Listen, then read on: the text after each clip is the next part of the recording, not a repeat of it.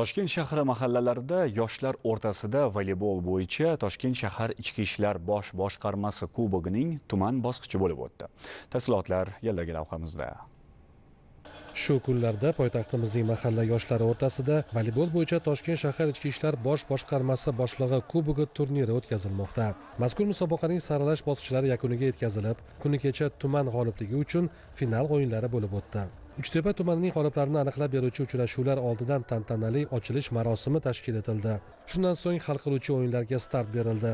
Qizlar o'rtasidagi bellashuvda tinchlikobod mahallasi birinchi o'rikzor mahallasi qizlari esa ikkinchi o'rinni qo'lga kiritdilar. Biz ikki oy davomida tayyorgarlik ko'rdik. Mana qizlarimiz bolalarimiz e, tinchlikobod mahallasidan e, birinchi o'rinni egallashdi qizlarimiz. Mana bu trenovka vaqtida biza e, qizlar bilan aholini o'rtasi bilan ichki ishlar xodimlari xodimlarini munosabati keyin yoshlar yetakchilari bilan hamkorlikda yana jipslashdik. Shu bilan birga qizlarimizni bandligini ham ta'minladik. Hayajonli va eng qiziqarli final bahsi shirin hamda qoziguzar mahallalari yigitlari o'rtasida o'tkazildi.